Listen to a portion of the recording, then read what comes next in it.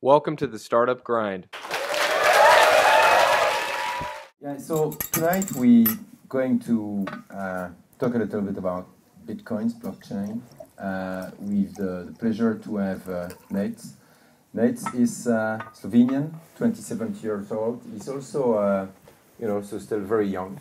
Um, already a serial entrepreneur, so it's not only about um, uh, Bitcoin and about fintech, but it's also about entrepreneurship. So, so my first question to you, Nejc, is um, you know, give us a little bit of your background and, and how did you manage um, getting to already be a serial entrepreneur, various business, including a dairy farm, right, uh, at the age of 27? Yeah, thanks, Olivier. Um, hello, everyone. Thanks, everyone, for coming at this quite late hour. Um, um, so, yeah, my name is Nejc Kodric, and I'm a CEO and co-founder of Bitstamp.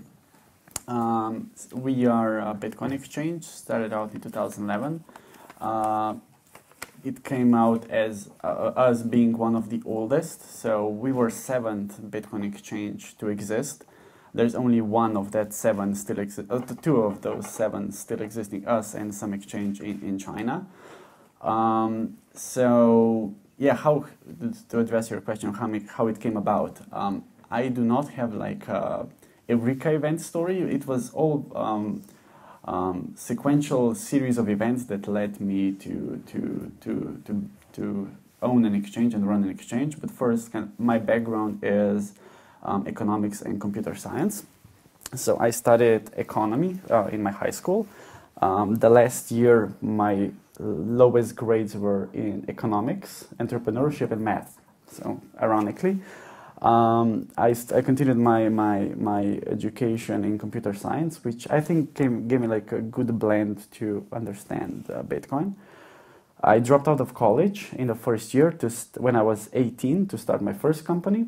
Um, I was reselling computer hardware um, and uh, IT consulting to small and medium companies. Uh, so I was 18. Just one week after I turned 18, uh, me and my friend co-founded a company um, just out of pure enthusiasm for, for gaming. We were gamer, we like to play video games. You know, at 18, what do you do? You play video games. But there were no, in Slovenia, there weren't any importers of, you know, high grade gaming equipment. Like, you know, there, it was, you know, um, brands like Razer, SteelSeries, and those kind of um, brands were not easily acceptable. So all of those gamers, which is a very niche market um, and very thin, very small market, uh, all all had to buy this uh, equipment from abroad. So we thought, let's move this in.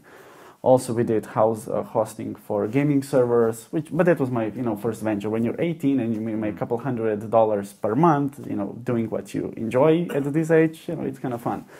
So, and our the name of the company was Gaming Shop, you know, of course. Um, so we later did, as I mentioned, IT consulting, and the name Gaming Shop didn't really go, didn't really fly by, you know, serious companies. So we renamed to GS Computers. GS stands for for Gaming Shop. Um, so, but you know, scaling uh, IT, scaling IT in Slovenia is quite difficult. First of all, margins are very thin. You know, if you if you have 10% margin on a brand new computer, um, you know, you're lucky. Actually, we made more money by by repairing old computers than selling new ones but you know you serve the, the, the environment around you the, the, the local economy around you which is you know it's it's small you cannot you know get mm-hmm. rich and it's not that that was intention it was just something that that, that we were pursuing you know establish a, a solid business so I got bored of that uh, went back to col- went back to college um, to continue my um, computer science uh, degree, and that's when I stumbled across Bitcoin. Um, so the the story goes and you know on the story. Uh, Damian, the current co-founder, he was a schoolmate of my older brother. Once came by and said he wants um, to buy to mine to make money by having essentially having his computer turned on and mine bitcoins. Mm-hmm. And to give you a brief uh, kind of description of Damian, he's the kind of person. I'm pretty sure everyone knows that that type of person. He's the type of person that constantly had like three or four pro- projects running all of them making some, some money and all of them being autonomous. Like he created bots doing something, he created website, spiders to crawl over the internet to make revenue on something. So I always knew that if this is something that, you know, another Damian's project that will make money by doing nothing, then I should get on board. So he explained what mining is, how Bitcoin works, and I had a very deep knowledge on computers, uh, hardware, you know, setting computers uh, and, and all and so on and so forth. So he asked for my for my expertise on building a computer mining rig to mine bitcoins to you know this magic money of, of the internet. So I wanted to assist him better, to you know give him a proper advice. So I started learning more about what kind of hardware he needs, um, um, what would be the optimum combination for least amount of consum- cons- con- electricity consumed with a maximum you know um, hashing power output. Um, so I got very familiar with the mechanics of Bitcoin, but not from the economical standpoint, but more from the technical standpoint. How this this how this new technology, you know, brings decentralization. How how the the the um, the transaction being confirmed, and I I realized this is actually a solution to existing problem. And I, I was that was a couple years uh, uh, in uh, after I started my first company. So I was 22 at the time when I, I first learned about Bitcoin. That was in 2011. So, and when you're 22, you're not really thinking about you know what's wrong with the monetary system in the world. Um, you know, you don't think about what's a good store of value. You do not really think about that. You know, you're still in college and you're having fun, partying. That's what you, you do it when you're 22.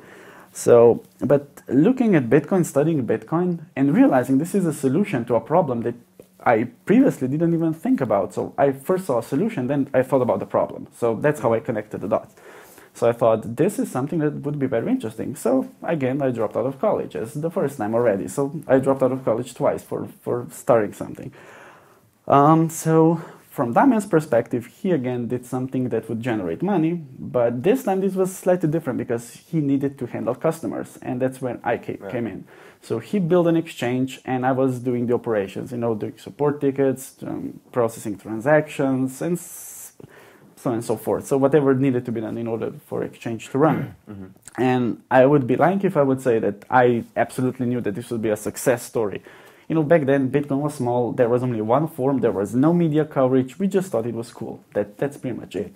We knew that Bitcoin itself will be big eventually. People, if we realize, and we're not, you know, rocket scientists, if we think it's cool, and we, if we think, being pretty much average Joes, if we think that it does deliver uh, some, you know, it adds some value, yeah. mm. that someone else will as well. So we thought people will appreciate it. The price of Bitcoin will increase. So let's do something, you know, get some money and buy more Bitcoin.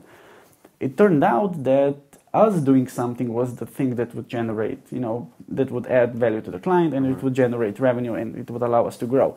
So it wasn't intentional, uh, by by no means. And there were there were no books how to you know start a Bitcoin exchange, how yeah. to establish. There was very uh, a lot of uncertainty on on the regulation. A lot of people thought I was crazy that we are crazy. Um, you know, and then Bitcoin was back then very stigmatized, being connected to dark markets and so on and so mm-hmm. forth. So, but still, we still believed. We were, I guess, slightly naive to still stick to what we believed. We thought it's a great technology. You know, it does add value.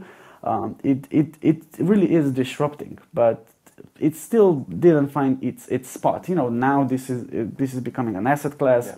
It's becoming a vehicle for remittance. You know, it, it, it is getting you know, into segments that you know need for decentralized ledger. Yeah, because in, in the beginning the, the, reputation was not very good about it. Yeah, well, it was horrible, to be honest. Um, but you know, it's it's it's like a knife. You know, you can put butter on the, on the bread with the, with a knife, or you can stab someone. Same, it's technology. Technology is agnostic. Like you know, it's it's how people use it. That that's where you know bad things could hypothetically happen. But you know, you should never blame it on technology. You know, internet also was very stigmatized you know, for you know all sorts of, of uses. But you know now we cannot live without it. So I thought this would be the same, mm-hmm. and we very soon looked at it as um, next evolution evol- evolutionary step. Not, not not just you know evolutionary step for money. You know this is the first time we can transact without a middleman, but also next evolutionary step for for the internet essentially. You know, with the evolution of the internet, with you know having um, bigger bandwidth. You know, it allowed you know to do full HD streaming of video in I don't know Jakarta or mm-hmm. whatever or Japan, Tokyo, like across the world, but you cannot send two cents.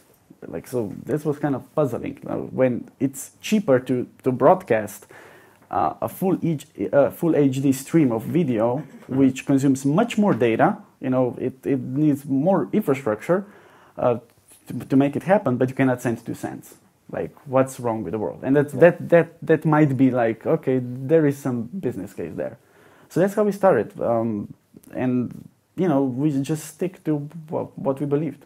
And, and so that, that's where you started Bitstamp, right? Yeah. And, and maybe in the room, ju- just a que- question of interest, who knows Bitstamp as a company? Just raise. Cool. Thank you. More than 50%. so, so I think, importantly, I think uh, Bitstamp today, you know, how much transaction, how much, how many clients do you have, and, and how do you make it, how do you make it known Mhm. uh, to clients? So um, it started out very slow uh, for the first year. For actually for the for, for the two years, it was only us two working. For 2013, 2000. 2000 from 2011 to 2012, and, you know, in beginning of 2013. Actually, in 2013 is when Damian quit his job. Mhm. Um, so I was full time Bitstamp, um, you know, doing, you know, I was marketing, you know, pretty much spreading my view of, of this technology on forums. And that's how we got first PR by just, you know, uh, expressing what we believed, and that that I guess was well accepted by the industry. So that's how we got our first users. Um, but uh, for for the first year, there was next to no traction. Um, you know, in that time, if you had 50,000 euros of, of volume in a day, it was a huge success. So, yeah, congratulations, you made five euros. So, um, so but yeah, that's, that's how you start. You, you have to be humble, you have to be, you know, um, accepting whatever comes at you. And that's what we did. Every client was welcome. We took time, you know, I was awake during the night to, to, to you know, to um, respond support tickets. Um, and um, that's pretty much how we started. But in terms of your question, um, where, where are we now? So we currently serve over 600,000 users. Uh, we have 37 employees. We have offices here in Luxembourg. It's where our headquarters is. We still have an office in Slovenia where most of our staff uh, of operations, um, you know, um, support staff, verification staff, development that's still in Slovenia because we're Slovenians. Um, we have an office in New York, um, and uh, we, in a five year of of existence, we processed 12 billion dollars worth of transactions, um, and that all keeps growing. Um, you know, as Bitcoin industry grows, we grow. So um, you cannot, you know, outgrow the industry. You know, you are spearheading the the industry. So. And, and, and why did you, so, so you said now you, you established in Luxembourg, you have a PI license in Luxembourg. Why, why did you came to Luxembourg? Um, so the whole kind of um, exploration of jurisdictions began in 2013. Um, so when the when it was the the, the the the great expansion of the industry. So the 2013 is the year when Bitcoin you know shot up to 1200. There was a lot of media coverage, um, and also with that comes a lot of um, fear, uncertainty, and doubt. So, um, you know, um, being more frequently asked from from bank, you know, which is essential component in our operations. So, you know, we essentially bring together a buyer and a seller. So a buyer transacts, you know, dollars or euros, and the seller transacts uh, bitcoins. And you know, in our secure environment, they exchange, and you know, the, the buyer, you know, takes out the bitcoin, and the the seller takes out the money. So banks are essentially half of our operations. They represent half of operations, you know, um, and they were also kind of uncertain. Is, is, is, is, are we playing by the rules? Are there any rules? Should we keep continue serving this industry, this particular client? And our banking partners were in Slovenia at the time. Um, with and you know for for the for the economy of Slovenia, we were a big client, and you know we were getting noticed by the regulators in in Slovenia, uh, by the law enforcement agencies, um, because you know the and you know main source of information for the law enforcement is the news. You know Silk Road, you know Yeah. drugs, and you know so forth, and from our perspective, it's all about you know continuity. Um, it's all about you know n- not not not open ourselves to to to ever expose ourselves to risk of someone that's doing something bad to use us for for his Using you, yeah, yeah for bad know, purposes. yeah of course it, it's it's we are in it for a long run we are, we want to continue this industry we want to add you know the essential component of the industry you know the the, the exchange part And that market, uh, although it's very loud and it's often put in front, uh, the, the dark web and so on and so forth, we don't want to serve that. You know, mm-hmm. there, no one wants to serve that. But uh, and there's no rules to, to go by to how there's no there was no regulation you know what you should do in order to stay safe so we were pretty much inventing good practices at the time so in slovenia you were not regulated no we were not regulated we wanted to be i met with the slovenian central bank mm-hmm. um, which were like yeah we'll wait for you know European central banks to tell us what to do with you. Like, okay, well, our business is growing, our bank is being uh, nervous, and you're telling me we should wait. Like that's that's a bad bet. Um, so we opened a, a, a, company in the UK and first approached the UK, the FCA, which has given us written opinion in 2013 that they view Bitcoin not as money, um, that right now it's still uncharted waters, that we can do what we do, um, but if something changes, they'll let us know, which we thought, okay, that's better than Slovenia. So this is a safer bet. So when but you still not regulated. No, still not regulated. So when you are a business owner, you always strive towards the, the, the, the, path with least, with least friction. You mm-hmm. always have to find, um, with the least amount of effort, the best certainty that something will happen as you predicted. And Slovenia was a bad bet. Although you know, I was, it was disappointing for me. I thought it's a great opportunities mm-hmm. for Slovenia to be first at something, but I guess you know there was not enough attention put, or there were, and also the the mainstream media in Slovenia were more likely to write about Bitcoin in some negative way than yeah, yeah. To, to write something like you know this could revolutionize because I guess that's how that's how I guess readers are you know media um, writes what pe- people like to read so and I guess that was also the period where Bitcoin had the very bad reputation yeah that and you know I, I don't blame them mm. that, that, that's reality so and at the time, we were looking for jurisdiction that is more progressive, that, that, that, that understands the, the long-term impact, that understands what this technology, technology, not the currency, the value, the, you know, the surrounding uh, stigma, the technology, the core, the core instrument of, of, of the underlying, the blockchain technology, what this mm-hmm. deliver, what this could deliver. We, we, we, we were looking for someone that thinks like us, that at least tries to think like us. So um, you know, first off, uh, the, the, the low hanging fruit was the UK, which mm-hmm. at the time was, you know, um, I think we, we, we, we came by UK through some articles that were writing something about, I think FCA might have, I don't recall correctly, but I think FCA might have commented publicly something about Bitcoin. We thought, okay, at least they, they, they, they heard about it before. so we opened a, a company in the UK and started, and we actually already started to migrate to, to the UK um, we, thought, we thought it's more predictable jurisdiction, uh, it's more friendly jurisdiction. And, and, when you're running a business that is growing fast and growing rapidly, that's something that, you know, it, it's all virtual business. So migration to this, it's, it's, it's easy. You just pretty much change the address, move, and that's it. Um, so they're, they're off, to move an office when you have a very small team, it's, yeah. it's, it's trivial. So we were very flexible. Um, but and then I was at the event in, in, in, in, Berlin where I met, I think it was Michael Jackson from Mangrove mm-hmm. Capital, and he, he was mentioning Luxembourg. And I, to be honest, I, I didn't think about Luxembourg. So I did some due diligence um, on Luxembourg and found out articles where, you know, Luxembourg was a couple steps in, you know, ahead of a, any other country in terms of blockchain technology. So I thought, okay, I should, I should, I should at least, you know, do some on-site visits. So I met with the CSSF, uh, the, the Ministry of Finance, mm-hmm. Director of Ministry of Finance, a um, couple banks, um, Luxembourg for Finance, um, and you know it was a two-day trip, uh, and I was astonished by the level of of of of understanding of blockchain technology was was here. I was very used of explaining that Bitcoin. There is no company that's called Bitcoin. That there is no person that's called Bitcoin. Pretty much and you know, I was used to say, well, mining, you know, it's uh, blah blah blah blah, and you know, here like, okay, yeah, sure, blockchain, uh, mining, this, that, like, whoa, these guys know what they're saying. Like, this is, you know, this is revolution. So it didn't take much. It took a couple of weeks to say this is on the roadmap. We have to migrate to Luxembourg. We have to apply for license because the best bet that we'll get something for, that will be first and we'll have something is here in Luxembourg. So fast forward two years, we were first to be licensed in, in, to receive a license in Luxembourg.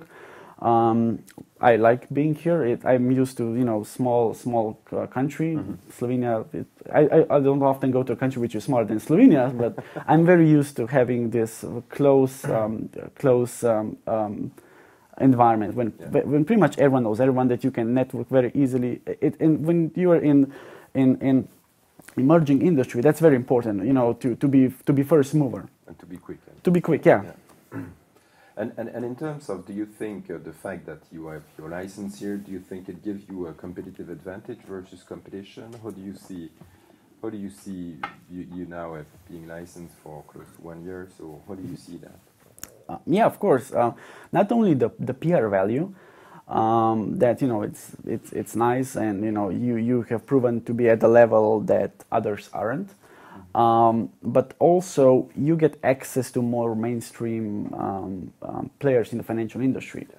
Um, you know, Bitcoin still, if you ask bankers, still stigmatized. They still do not like it well. But when you say, well, there's very little risk to work with us because you know we are regulated by the same uh, same reg- regulator as you are, and they like it. So why shouldn't we talk?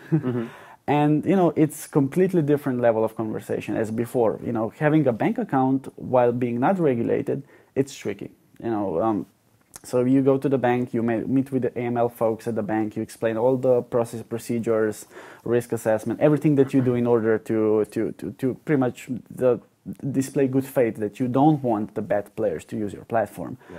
And often they'll say, "Yeah, well, we trust you. We think it's fine, but you know, come in one year or two years when you have a license."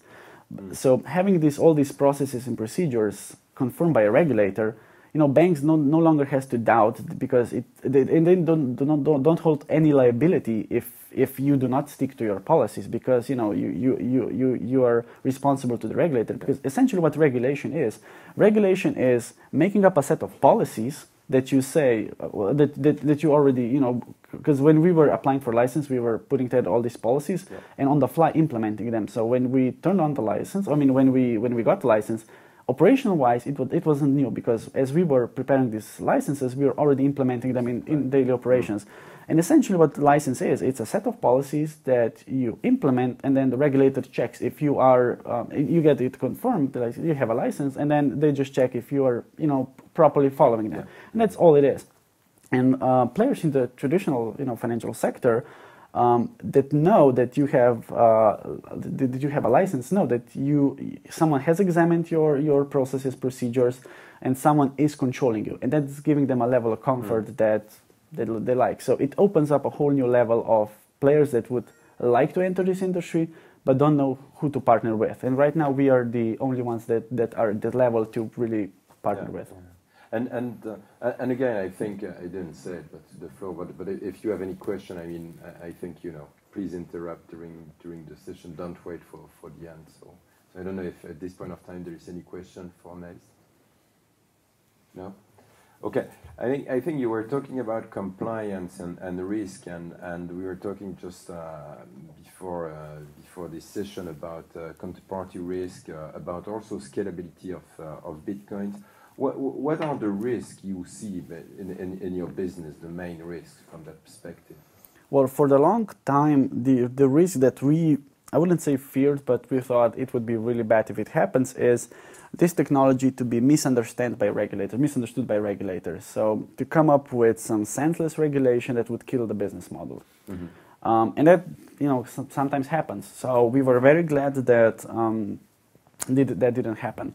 So another risk was the scalability issue. Not so much from our perspective because we are not um, limited by the, the the scalability of the network, but because uh, we are we are just part of we are just essentially just a node on the network. We have our own internal trade or uh, trade matching engine, which is very scalable, but what was uh, slightly concerning is the one megabyte block size. Um, I don't know how, how, how well you are uh, familiar with the technical um, aspect of Bitcoin. So there, every 10 minutes there's a block of transactions, uh, and the size of the block can only be one megabyte. So one megabyte of data, um, which means that if there is more than one megabyte of data, then the transaction that you know is over the limit that you know was let's say that we have the two megabyte um, blo- um, block, which means that it will be processed in uh, 20 minutes, not 10 minutes, but 20. It just doubles the time. So if we, we have this block size and we have this amount of data, this will be processed, but this will stay for, for the next block. which essentially it's not a problem for us, but it's a problem for the industry. A lot of the companies in the industry that um, are in the business of point of sale, the payment processing. So let's say you have a company that um, does payment processing. Mm-hmm. And if I send Bitcoin, but if my transaction is not you know immediate, that you don't see it, then it's a problem because user experience is bad. Um, so, and these all of these companies are our clients because they need uh, payment processing companies. Um, they need uh, company. Uh, they need an exchange to convert and then you know transfer fiat currency, you know dollars, euros, or whatever, to the merchant that is accepting Bitcoin as a as a means of payment. So, and we have a bunch of these clients that their business model would suffer, and that's bad for us as well. Um, but this this problem has many solutions. There's not only there's a block size, so block size can be raised. Um, to there was a, a, proposal to to raise it to two megabytes, which would essentially mean that we can have more transactions, but that means uh, technical uh, interception of, of Bitcoin network, which is not really good. Uh, but there was uh, another solution which is called segregated witness, and you can uh, which is being implemented. Um, guess what today. Um, and it was being developed for over a year, um, but right now it's being deployed. So miners are already already signaling that they will uh, mine or they will uh, follow the the SegWit implementation, which to boil it down, it is compression. It pretty much just compresses the data, so you, we can transfer more. But what also does is, and this is slightly technical, it also um, solves the the transaction malleability issue and um, it allows uh, something called uh, something called Lightning Network to to happen, which is you can think of it as a sidechain. Um, so uh, some transactions can happen on the sidechain, but then you know um, kind of settle on on the main chain. So it just opens solves the scalability, and that and that was uh, today. Just today, the SegWit was uh, implemented, and instantly price increased like a couple couple basis points. So yeah, that, that those were the risks. So senseless regulation plus um, technical uh, technical limitation. What, do you see about um, you know? Is there anywhere about intrusion or cybersecurity or about hacking? Is it, do you think do you see that as an issue for in, in, in your industry or how do you? Because we we're talking a lot about uh, hacking and uh, cybersecurity in, in many industries in, in mm -hmm. the mm-hmm. telco and the techno business. I mean, mm -hmm. what what's your view on this? Mm -hmm. Well, you know, banks get robbed, uh, post offices get robbed. Any anywhere where um, there is a value to be stolen, this is the opportunity for bad people. Um, I have to point out that protocol cannot be hacked. Bitcoin as a protocol cannot be hacked, and you know, mm-hmm. trust me, there. This is the this is the industry that's worth over 11 billion. Brings some sort of some sort of anonymity. Point me to the hacker which would not want to steal this. Mm-hmm. There's no, so the protocol itself cannot be hacked. The weak link are services on top of, of, of, of, of the protocol. Uh, points in the n- network where uh, larger amounts of Bitcoin are being concentrated. Wallet providers, um, exchanges, any sort of service where there is a higher concentration of, of Bitcoin, those are the targets. So uh, just like counterfeiting cash, like it's very difficult to counterfeit cash, but you know mm-hmm. it's much easier to just go to the bank with you know with the with the weapons and just take it from the bank. It's the same here. You know, imagine it's it's, it's you cannot. It's literally impossible to to hack the protocol, but you can you can hack the service. We had incident back in 2015 um, where uh, where our part of our system was compromised, and unfortunately there was uh, there was a loss. Um, but there, uh, we have implemented way before the mitigation um, system where we have cold wallet and hot wallet, which means you can imagine it as cold wallet as being a virtual uh, vault where 98 or 99 percent of our clients' assets are located, and hot wallet or hot um, uh, hot wallet as a cashier. So something that it's yeah it's it's something that you know can be taken away. It's it you know it sucks that it happens, but you have it on the books that if something bad happens, you know this thing happened. yeah. yeah, there's no system in the world that's impenetrable. Even the NSA got hacked a couple months ago. So. I'm not saying that you know we are careless, but you it's all about how you mitigate the risk, how you communicate to the client, and how you how you rebuild the the assurance.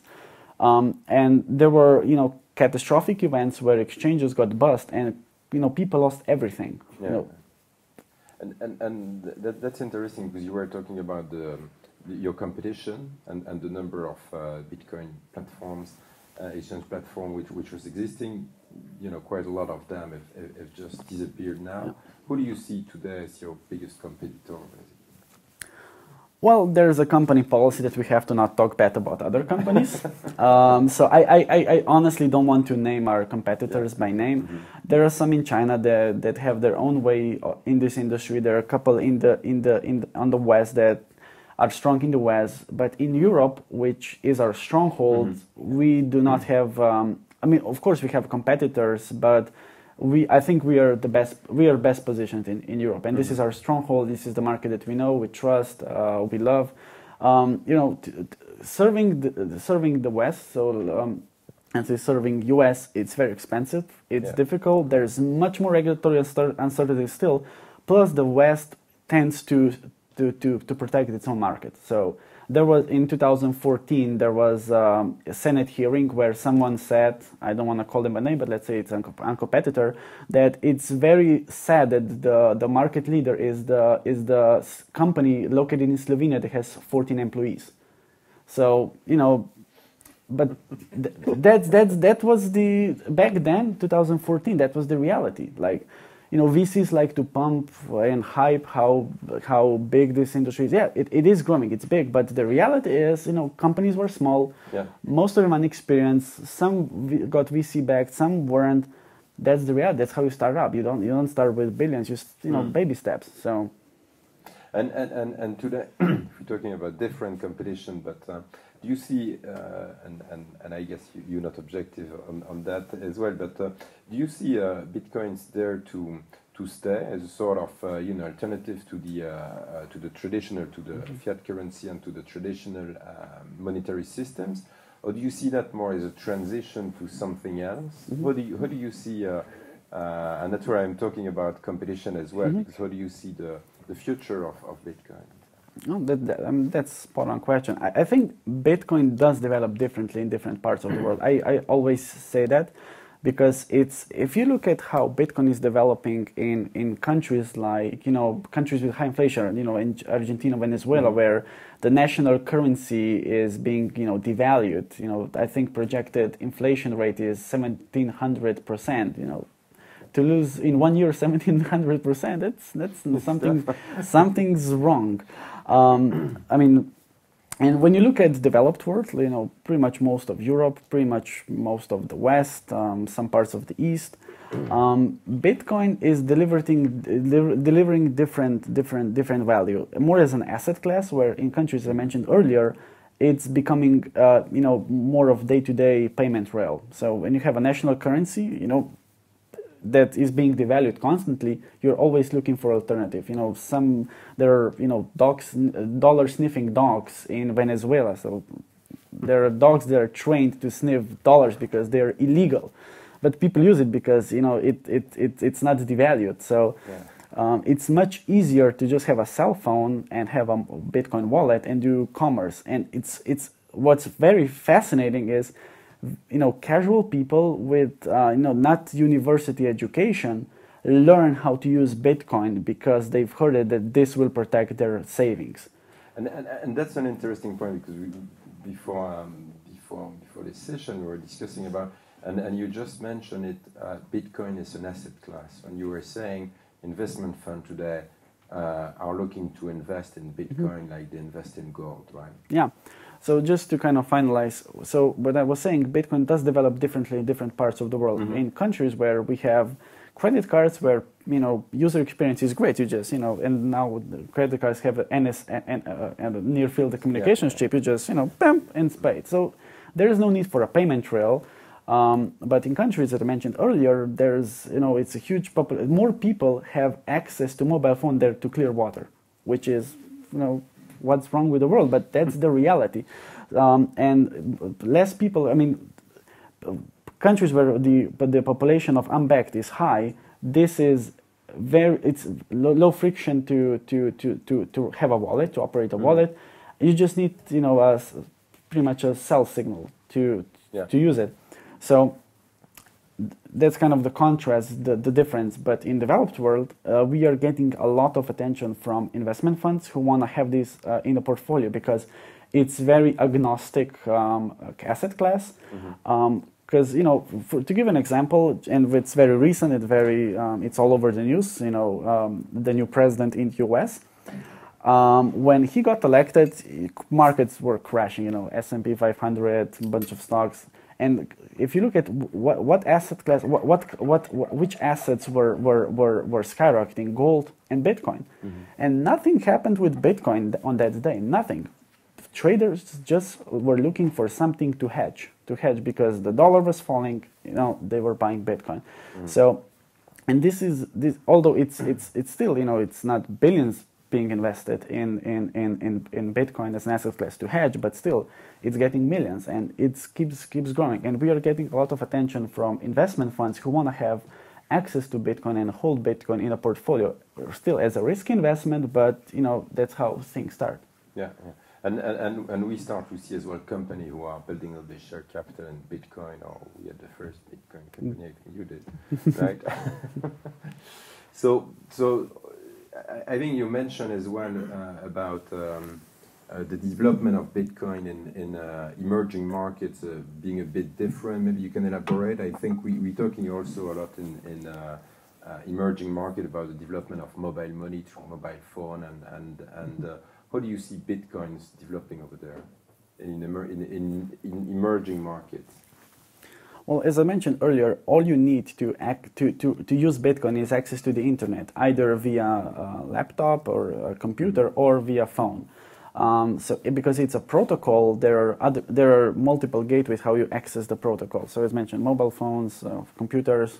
You can have a hosted wallet. You can have your own wallet. Mm-hmm. Um, so the the because what, what's what's what's equal to all of these countries which are undeveloped is because so let, us examine the banks. What about what banks are? Banks are an institution where you put them money and they charge you because you put them money. Well, of course, they have their own cost, operating cost.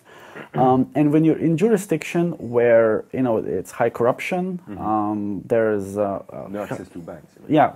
Mm-hmm. Um, there, there, there's uh, very hard to establish the banking infrastructure. So banks cannot spread in you know poor countries because it's too expensive to operate in, this, in, in, the, in, the, in these geographical areas. You know, you still need to have, uh, you know, employees, you need to have uh, establishment, and you, you cannot sort of pour people and, trust, and charge them a whole lot of money to, to maintain this infrastructure. So that develop, banking never developed in, in poor countries mm-hmm. because of that. It's too expensive.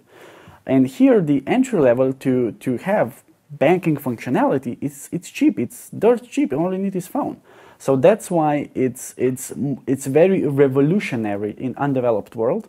Mm-hmm. Um, but we don't hear it much here because, you know, they, they don't tweet about it. Yeah. They use it because it's, it's, it's essential part of their daily life. It became essential. Mm-hmm. We got a lot of clients that have services that serve these countries. And we're seeing rapid growth. You know, it's not, it's, it, we, I mean, we still, we make money by, by by trading. So the most of the volume comes from the speculation. So in contrast, the the the the, the, the percentage of this very um, tangible uh, use cases in, poor countries is still very small compared to the to the developed world mm-hmm. speculation, but it's growing fast and it's growing rapidly. Um, so there is a there is a big growth in these in geographical areas. And and it's interesting because I think that um, Jeff Bezos was saying we will continue to need bank accounts, but we don't need banks. Yeah. What's your view on this? Because I, and and be, beside that, it's it's more you know how do you see your relationship with bank? Because we're saying okay, Bitcoin and and fintech player like you are will cannibalize the banking system and, and the traditional banks. How do you how do you mm-hmm. personally see that? Okay, so let's be honest. No government in the world will want to have a monetary system that they cannot control. Mm-hmm. So I, I, was pretty much quoting BaFin from Germany. They said the problem with Bitcoin is we don't control it. so um, for those who don't know, BaFin is um, is a financial regulator in Germany. So and they like euro because they control it. Um, so it's not going to replace national currencies.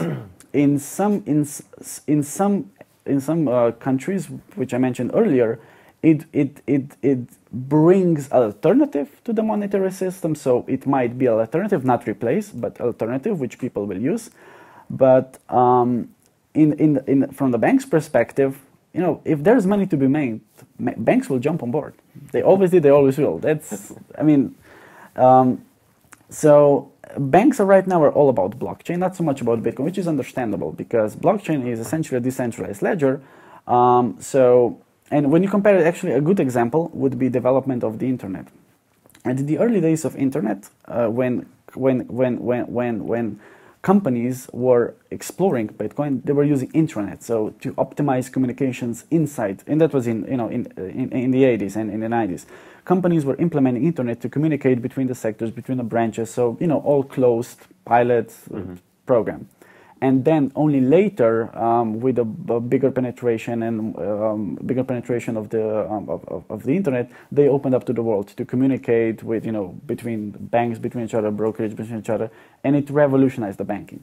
So right now, I think we're in a very similar uh, era with with blockchain bunch of banks are saying we we're exploring uh, blockchain we're implementing blockchain. They all are they're not lying. They have internal processes on the blockchain. Mm-hmm. i know one particular bank I know, I know, I know them very well that already has four international branches using um, blockchain technology to do uh, transactions. Internal all under the umbrella of, of the, of, of, of the bank yeah. So not on the outside but it's only a matter of time when they will open up their the, the, their doors and connect to the blockchain. Because I think in the future, will every bank will have their own blockchain, and there will be uh, market makers between the blockchains. That's essentially how how the market works. Um, so right now we're still at the phase where everyone's doing something on the blockchain, internal blockchain, but eventually it's going to be opened up to the world. Mm-hmm. And, yeah. Who has a question? Yeah, yeah. Please.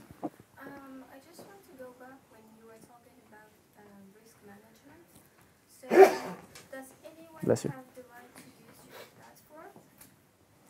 If yeah, you were saying if anyone has a right to use our platform. Yes, or do you identify your customers? Do you have some system behind to make sure you're not, you know, doing business with someone? So all the clients that that that, that we onboard um, are fully verified by their national ID card or driver's license or any um, you know ID document and proof of residency. So utility bill, whatever statement. So we have to know who they are and where they live. That's for, and we cross-check that against PEP list, OFAC list, sanctions list. So that's that's mandatory for every client we onboard.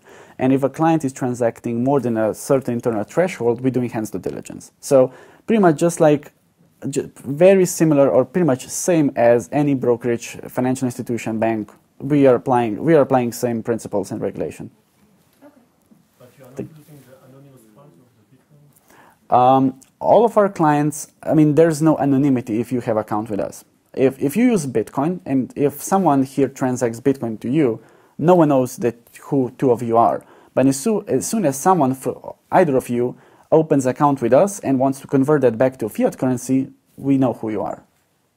But inside the network, transactions are not anonymous, I would say private, because th and this is a common misconception. People think Bitcoin is anonymous.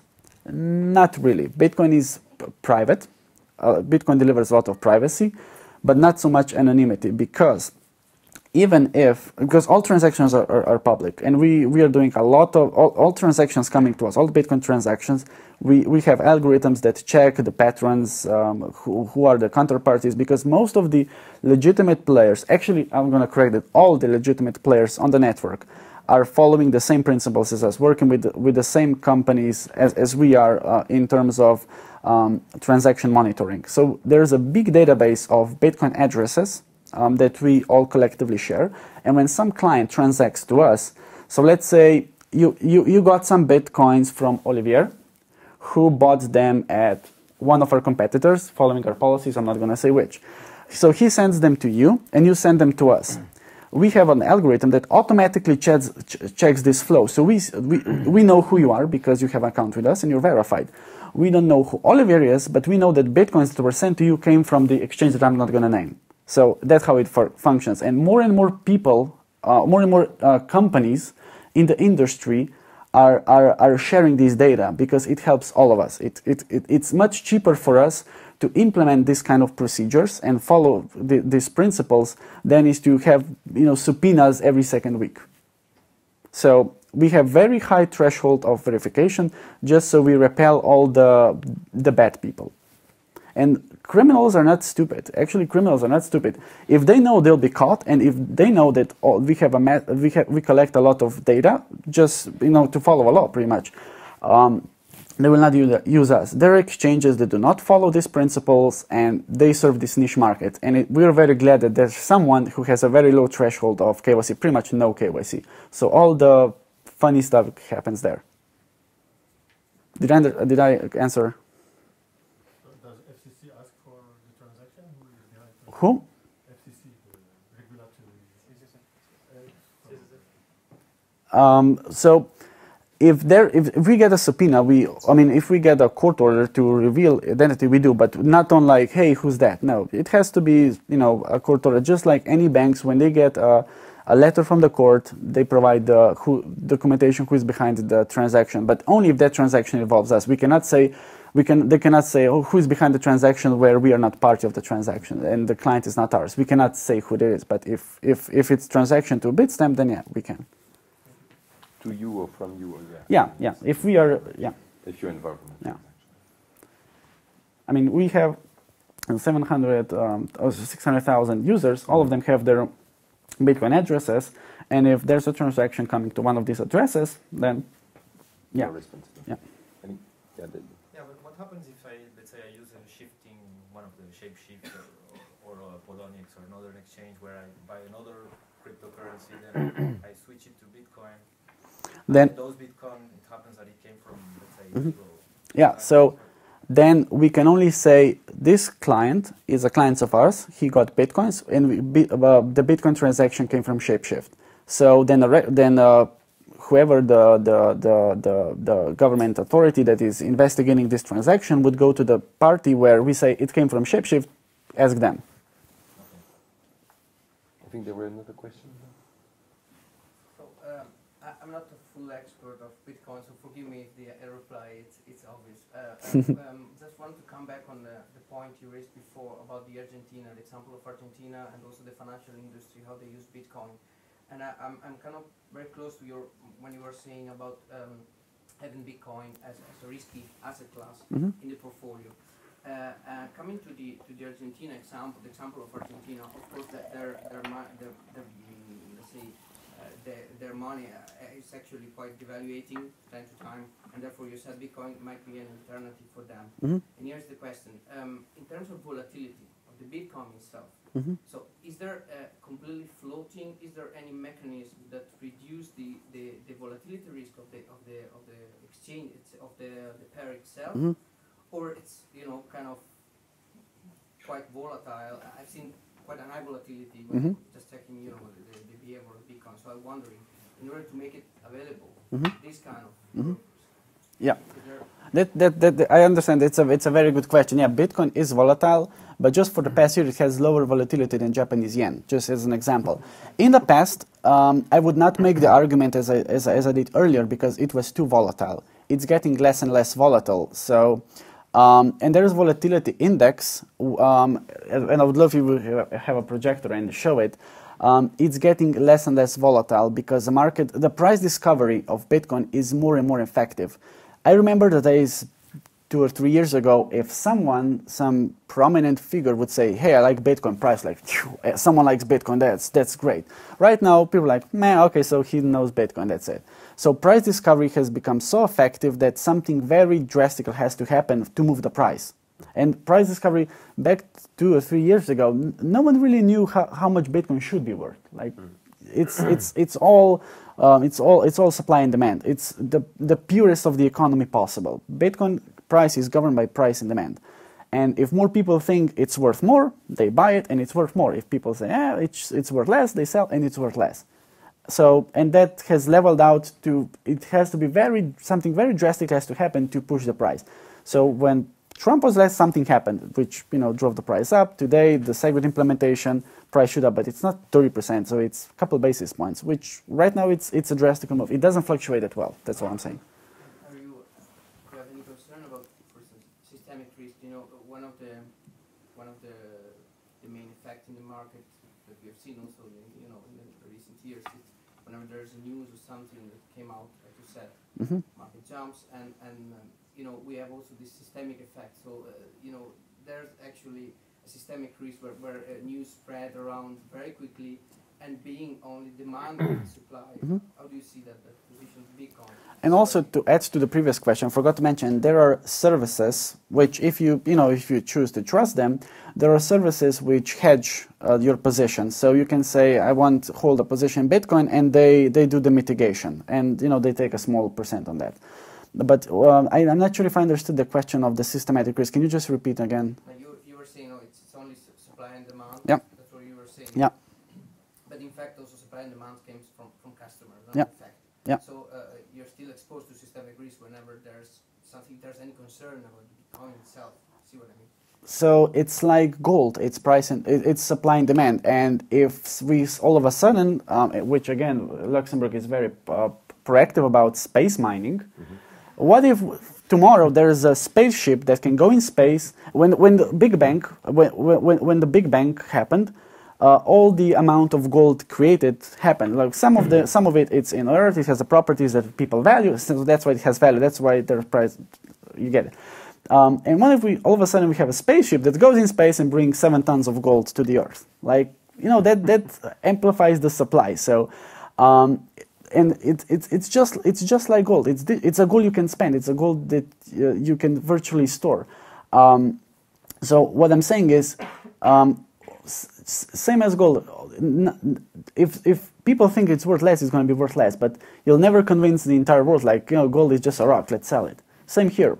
There when, when there was uh, I remember when th- there was uh, an exchange, the Bitfinex um, had had their problems. Um, uh, they the, the price was, was, was going down, but it stopped. And I remember talking with with with with, with some trader, and he said it's not gonna go below five five thirty because we're not gonna let it. So as soon as there's panic, panic on the market, some see opportunity. That's it. It's it's speculation. Last question, maybe? No? Yeah. Uh, I have a question, ge- uh, getting back a little bit uh, to when you started. I mean, as you said, you started, uh, let's say, in a kitchen with uh, one or two servers, and then it went, and then you scaled it. How did you scale the business uh, Mhm. to where now? Did you need external resources, or was it just bootstrapping? Mhm. Or how did you scale it? So, as a young entrepreneur, what you do is when you have ov- overhead of work, you employ your friends. so uh, that was just uh, very early days when there were too much support tickets. I asked my friends who know well about Bitcoin. I trained them. Uh, they speak fluent English. So you guys help me out. I cannot handle this anymore. But as soon as you get more and more revenue, you employ people that you know have have past experience. I didn't know. I didn't have past experience from banking. I didn't have past experience of how how the monetary system functions. I learned it on the fly because I had to. Otherwise, you know, you have to invest your time. It, you have to live for it. You have to be naive enough to believe it, and then you have to be persistent enough that you devote every single day of your life to this idea. For me, it was choice in life. You ha- uh, again, some thought I was stupid uh, to believe this funny internet money. You cannot hold it, you know, drugs and dark nets and all so on and so forth. But to me, I love technology. I really believed in this technology. So, and one thing that I, I, I like to, to mention, and it's maybe hard for some to, to really understand, is when you're at the tipping point, you know, when it's hobby, it's fine. It's you, you, you, you think to yourself, you can always go back and do whatever else you want to do in life.